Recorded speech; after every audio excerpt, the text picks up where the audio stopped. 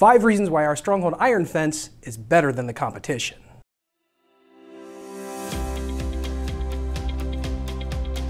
Hey everyone, Jason from Iron Fence Shop. We understand that after a few hours of shopping online, all the iron fences start to look the same. How can you tell the quality fences from the terrible ones? Price is not always the best indicator, nor pretty online photos.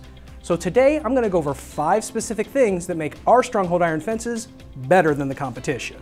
The first thing that makes our Stronghold iron fence better than the competition is that we weld on cast iron finial tips at no extra cost. If you're not sure what a finial tip is, it's this decorative piece on top of the vertical pickets. This piece is solid cast iron and it's welded onto the steel fence and gate pickets. It's a small portion of the fence, but it goes a long way in giving the fence a more regal and authentic appearance. So our Stronghold iron gets you an authentic and solid cast iron finial that's welded onto the picket. Let's take a look at what the two options you get from our competitors are. The first option that you get with a vast majority of our competition is what's called a pinched or a crimp tip picket. It looks like this piece here next to my welded on finial tip. It's named as such because they stick the end of a hollow picket into a machine that smashes the picket together and then cuts it into this shape. It gives the fence a low quality appearance. It instantly gives away that it's an off-the-shelf price point fence. It doesn't evoke that authentic and historic look that most people buying an iron fence want. Why does everyone else build their fences with these pinch tips? Easy. It's cheaper and simpler than hand welding on 20 iron finials like we do. It's a way to cut corners and costs. The other thing you get with this pinch tip picket is a much thinner and pointier end. If you have small kids or dogs, these pinch tips have a much smaller contact patch that pokes harder than the rounded top of our cast iron finials. The second option you'll get with our competitors is a press-on or glue-on finial tip like this. They'll be plastic or die-cast instead of iron like ours. To add insult to injury, these cheap add-on pieces are almost always an upcharge over the standard panel price. Lots of times we see lower quality panels with these cheap add-on finials costing as much or more than our panels that are better quality with true iron finials welded on. Now, while these little imposters get the job done visually from a distance, there's two major downsides to them. The first is that easy on means easy off. If you've ever seen a fence that's missing half its finial tips, those are cheap add-on pieces that the kids pulled off or broke off once they realized they popped off. The second is that the cheap add-on finials are made of different materials and coated separately from the fence or gate. Our welded on iron fence tips go through the same cleaning and powder coating with the panel in one solid piece so it's consistent coloring and the same finish. The cheapy stick-on ones will look okay new, but in one to three years they can fade to a much different color than the fence panel's rails and pickets. This is especially true of the plastic pieces that are not painted or powder coated. Once these cheap stick-on pieces begin to fade to a different color from the fence line, they really stick out like a sore thumb. The second item that makes a Stronghold iron fence better than the competition is more robust and better construction of the fences and gates. Just like the finial tips, this is another place competitors can hide cost-cutting measures that aren't always readily apparent. When we make our fence panels and gates, we punch our horizontal rails, feed the pickets through, and then weld them from underneath. On our gates, we use U-frame standard for additional reinforcement. Let's grab some pieces and take a closer look at why these two construction techniques map. Let's start with the punch rail construction I mentioned. What a lot of competitors do is called a layover or railroad style of construction. That means that they take a horizontal rail square stock or flat stock, and then weld the pickets on perpendicular like this to the back of it here and here. It gets the job done, but then you have a fence that looks okay on one side, and then the other side's just exposed welds. Beyond looks, it can also be a very weak construction method, especially if the rails are made of thin flat stock. You have much less bend resiliency in this type of construction. If enough pressure is put into that panel and that rail bows outward, it can at worst fail completely and fold in half. At best, it's still going to start cracking the welds to the pickets at all the connection points. What we do is use this punched horizontal railing for our fencing gates. We feed the picket through the punch in the rail and then weld it from underneath. If you look at our finished piece here, you can see that it not only gives a uniform look on both sides of the fence, but also hides the welds underneath for a cleaner look. The shape of the railing we use is also beneficial for better strength and bend resiliency. If you look at the side of our rail here, you'll see it's a channel with a rounded edge. Not only does that rounded edge look nicer, but it's stronger than a hard 90 degree or knife edge. So that punched horizontal rail gives a cleaner look as well as a stronger construction on your fence panels and gates. Speaking of gates, the U-frames we use around our gates go a long way in making a stronger and sag-proof gate. Unlike a fence panel that remains stationary and doesn't have a lot of force put on it, gates see all sorts of leverage forces.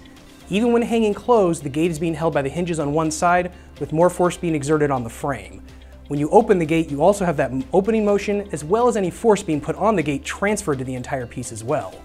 Throw in some resonance of someone slamming the gate, or slipping and grabbing the gate and putting a ton of force on it, to kids hopping on the gate for a ride, and the strength of that gate's frame becomes real important. Let's go grab a few pieces from the shop to show visually why that U-frame matters. Here we have what you get standard from most fence and gate makers. We call this an open frame gate. The frame consists only of a single piece right and left, and the only thing joining the two frame pieces are the horizontal rails. So on this gate, if you only have two horizontal rails, that means you only have four small welds holding that gate and frame together. Not a whole lot of support. That's why this type of gate construction can sag over time. Now if we look at my stronghold iron gate here, you can see the U-frame comes down each side and continues across the bottom. So that name comes from the U shape those three pieces form. Not only do you have this welded in frame reinforcement across the bottom, but you also have all of your pickets welded to the frame itself. So unlike that open frame gate being held together by four total welds, our Stronghold Iron U-frame gate here is being held together by nine picket welds to the bottom frame, the top rail welds, plus the strength of that frame going across the bottom that's attached to both sides and completely welded as well. That's much more solid than the open frame gate and why our Stronghold iron gates will never sag. That's important on any gate, but imagine how much more rigidity that's going to build into a much wider driveway gate leaf. That could be upward of 15 welds on a 10 foot wide leaf plus that U-frame reinforcing our gate leaf. Now jumping back to our competitor's driveway gate with the open frame, you only have four wimpy welds on a 10 foot wide gate leaf. That's why we don't have to use any silly construction crutches on our gates like wheels on the ends or cross bracing. They're strong enough to hold the gate entirely. The third item that makes our Stronghold Iron Fence better than the competition is better built and nicer looking hardware. Now in the grand scheme of things, we realize that nicer hardware like fence panel brackets and post caps are a small piece of the overall fence and gates. However, much like those welded on finial tips we previously discussed, these small items go a long way in making the fence look much more authentic and beautiful. Let's start with the fence brackets. These are the pieces that are going to connect your fence panels to the posts that go in ground. What you get from most competitors is what's called a strap bracket. It's simply a thin piece of stamped steel that wraps around or butts up to the post. While this will get the job done, there are a few things we don't like about those stamped steel brackets. First, they're very thin. They bend easily and if you get rust on any, it won't take long to eat through them. Second is they don't fully encapsulate the end of the rail, so you can often see daylight and gaps between the rail, bracket, and post. Lastly, they're like the pinch tip finials we mentioned earlier. They instantly give away that it's an off-the-shelf, get-the-job-done type of fence, especially the wraparound type that are tough to keep level and aligned down that entire fence line. What we use for our fence brackets is a cleaner looking and much heavier duty cast iron shoe bracket. These cast iron brackets are thicker and much heavier duty than the stamped steel type of bracket. The cast iron brackets arrive loose and slide onto the ends of the rail. When installed, the bracket stays tucked in close around the rail and on the inside face of the post. They're both better looking and more inconspicuous than those stamped steel brackets that wrap around the post. This gives you a much cleaner appearance, but also still leaves you the adjustability of the one inch depth of the bracket. We also don't cut corners on the post caps or gate frame cap hardware. Whereas our competitors will use cheap plastic, aluminum, or stamped steel pieces for these, we use true cast iron hardware. Whether it's the smaller gate frame caps or larger ball and standard style post caps, they're made from sandcast iron. They are stout, they're heavy, and much more authentic looking. The fourth item that makes our Stronghold iron fence better than the competition is making galvanized and powder coated pieces that carry a 25 year warranty. The thing that gives steel and iron components a bad name is rust. We've seen all sorts of bad practices from competitors. These range from horrible paint over bare metal to just primer bases over low-grade powder coating. There are two key components of a quality finish, the rust inhibitor and the top finish. The most important part of your iron fence and gate finish is the layer you don't even see. We use the tried and true rust inhibitor of hot dip galvanization on our raw stock. By dipping the stock, we get a coating of rust-inhibiting galvanization on the inside and outside of your pieces. There's a reason why galvanization is used on roofing nails, metal framing construction, and vehicle parts. It just works. That galvanized coating is why we can confidently offer our 25-year warranty on the Stronghold iron line. Now some competitors will use a simpler spray-on rust inhibitor that may protect the outside, but it doesn't protect the inside of the post pickets and gate frames that then rust out on you over time, and by that point, it's too late. The other key component of your finish is your top coating or the layer you can see on the outside. We use a high quality TGIC poly-based powder coating with UV fade inhibitors. Quality powder coating is key. Powder coat is much like wall paint for your home. There's a wide range of interior paint that ranges from the cheap $20 a gallon paint for rental units up to the $60 a gallon quality paint.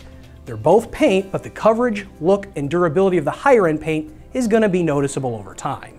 Powder coating's no different. Low quality powder coat finishes will look okay when new, but fade to black or gray in a few seasons or get a chalky appearance on the surface of your pieces that won't come off. Lastly, don't forget to ask about a warranty. We offer a 25-year warranty on our Stronghold iron line. That includes the finish peeling or blistering off. We've seen some places offer no warranty or a very short warranty like 1 to 5 years. Any warranty under 10 to 15 years is a surefire sign you're likely going to be refinishing that fence or dealing with rusted out components. One of the biggest perks of an iron and steel fence is its longevity. If you wanted something that was only going to last 5 to 10 years and required a ton of maintenance, you could have got a wood fence. Don't pay good money for an iron and steel fence only to have it fail prematurely. Ask about that warranty and what it covers. The fifth and final item that makes our Stronghold iron fence better than the competition is our customer service. I know, I know, stop cringing, don't close that video window. I know every company says they have the best customer service. No one's gonna say, eh, our customer service is so-so. We feel we have the best customer service because we have truly knowledgeable salespeople and we want to work through your project in detail with you. It's probably to our detriment that we don't have a shopping cart on our website. However, having one is a recipe for disaster with materials like this. These projects can be complicated and most folks aren't fence and gate experts. Why not have someone knowledgeable help you through the process? We don't want our customers getting frustrated as they keep having to order and return items they didn't realize they needed or didn't need to begin with. Not to mention spending ungodly amounts of money on additional shipping. We want to work with you one-on-one -on -one to make sure what we're shipping you is exactly what you need.